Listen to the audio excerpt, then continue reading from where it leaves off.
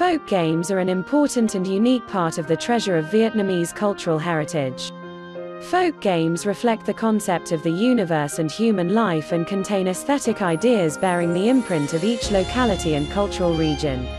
Not only are folk games sublimated in terms of humanistic meaning, but also practical to the spiritual and material life of each person and each community. In Quang Tri, robbing spinning top has been a type of folk game that has been passed down through generations and has a high community nature. This festival takes place in the early spring days in Cam Pho and An My village, Gio My Commune, Gio Linh district.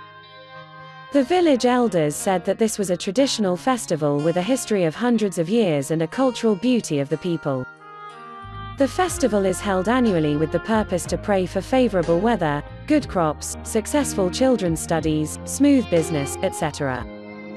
Before bringing the spinning top into the playing field, the oldest village elder will conduct a sacrifice to heaven and earth and then announce the opening of the festival. The part of robbing the spinning top comes right after the sacrifice to pray for peace. An old man will throw the spinning top in the air so that players can rob and throw it into the basket. Many people in the village and neighboring villages come to participate and cheer. Players try to throw the spinning top into a bamboo gabion hung from 2 to 3 meters above the ground. According to the rules, each match usually lasts 3 rounds, each of which is about 30 minutes. Each playing team represents a hamlet. The team that puts the spinning top in the basket is the winner, and the game is over.